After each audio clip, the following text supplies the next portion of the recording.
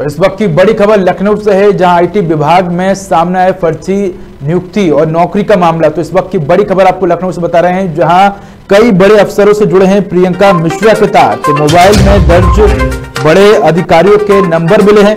तो bank account से आठ माह में 50 लाख का ट्रांजेक्शन हुआ और सबसे ज़्यादा श्रीवास्तव नाम के अधिकारी से हुआ है। तो सीसीटीवी में अधिकारियों के कमरे में जाते हुए दिखी है प्रियंका मिश्रा। तो इनकम टैक्स के कई बड़े अफसर जो है, वो पार्टी में भी शामिल होते थे। इस वक्त की बड़ी खबर आपको लखनऊ से बता रहे हैं जहाँ लखनऊ में इनकम टैक्स मुख्यालय पर रैकेट का कब्जा।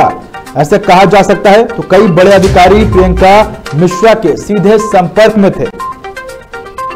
तो आईटी विभाग में फर्जी नौकरी स्कैम का मामला जो है, वो अब सामने आया है। कई बड़े अफसरों से जुड़े हैं प्रियंका मिश्रा के तार। तो मोबाइल में दर्जनों बड़े अधिकारियों के नंबर मिले हैं। बैंक अकाउंट से आठ माह में 50 लाख रुपए का ट्रांजैक्शन हुआ है और सबसे ज़्यादा श्रीवास्तव नाम के अधिकारी से हुआ है। और इस खबर पर देखिए जानकारी के लिए हमारे साथ संवाददाता विकास जुड़ चुके हैं। लखनऊ से माफ़ कीजिए, अविनाश जुड़ चुके हैं। अविनाश, इस पूरे नियुक्ति मामले में कहाँ तक अभी तक जाँच की कार्रवाई पहुँची है? तो बताएँ बीते कुछ दिन पहले एमकेएन ने बड़ी प्रमुखता के साथ इनकम टैक्स में जो फर्जीवाड़ा था, उसका खुलासा किया था। इसको लेकर आज प्रियंका मिश्रा जो डिपार्टमेंट बता रही है, बताई जा रही है, उनको इनकम टैक्स विभाग ने एक दिन पहले इनकम टैक्स विभाग से वहाँ गिरफ़्तार किया था। जिन पर फर्जीवाड़े का आरोप लगा था और फर्जीवाड़े को लेकर पुलिस वहाँ पर जब जाँच के लिए पहुँची थी तो मौके पर कुछ आठ ऐसे लोग थे जिनको वहाँ पर फर्जीवाड़े के लिए वहाँ पर बुलाया गया था। तो ये बड़ा खुलासा इनके न्यूज़ से एक दिन पहले ही हमने आपको बताया था। आज जो मास्टरमाइंड प्रियंका मिश्रा है, उनके तार कहीं ना कहीं कह सकते हैं कि इनकम इनकम टैक्स विभाग में तमाम जो बड़े अधिकारी हैं, उनमें शामिल होने की शंका है।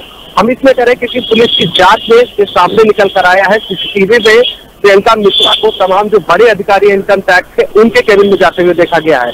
साथ ही आपको ये बता दें, पिछले छह महीने के अंदर प्रियंका मिश्रा के अकाउंट में पचास लाख रुपए का ट्रांजेक्शन हुआ है। तो ऐसे में कह सकते हैं कि इतना बड़ा जो रैकेट इनकम टैक्स विभाग में चल रहा था, किन बड़े अधिकारियों के संपर्क में प्रियंका मिश्रा थी जो कि इतना बड़ा स्कैम इनकम टैक्स विभाग में चल रहा है? और साथ ही कौन बड़े अधिकारी है जो इस पूरे मामले में सम्मिलित है, जिनका नाम अभी तक स्पष्ट नहीं हो पाया है, लेकिन ये सूत्रों की अगर माने तो तमाम बड़े अधिकारी ऐसे हैं जो इस पूरे ब्रैकेट में शामिल थे, जिनकी अभी जाँच चल रही है। अविनाश, अगर बात करें तो ये एक बड़ा मामला है, क्योंकि ये बताया जा रहा है कि प्रियंका मिश्रा की पार्टी में कई बड़े अधिकारी जो है वो शामिल होने पहुँचे थे। प्रियंका गांधी माफ़ कीजिए, प्रियंका मिश्रा के साथ जो है, वो हमने ये भी देखा है कि कई बड़े अधिकारियों के साथ उनके बैंक अकाउंट में ट्रांजेक्शन होते थे। ऐसे में अब प्रशासन प्रियंका मिश्रा पर किस तरह की बड़ी कार्रवाई करेगी और क्या इस बड़ी कार्रवाई में और भी अधिकारियों के नाम के खुलासे हो सकते हैं? देखिए, आपको बताइए, पूरा मामला हजरतगंज थाना क्षेत्र के अंतर्गत आता है। पुलिस इसमें जाँच कर रही है। जाँच में अभी तक जो खुलासा निकल कर आया है, सीसीटीवी के माध्यम से, कि प्रियंका मिश्रा तमाम उन अधिकारियों के साथ उनका मिलना जुलना था।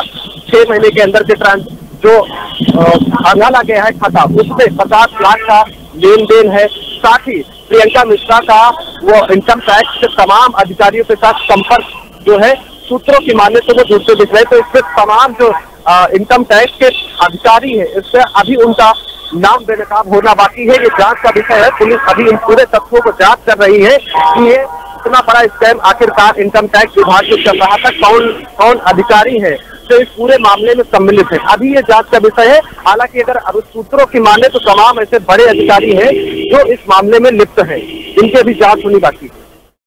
अविनाश, अगर बात करें तो कब से ये मामला चल रहा था? क्या इस मामले में कई और राज्यों से भी तार जुड़े हो सकते हैं?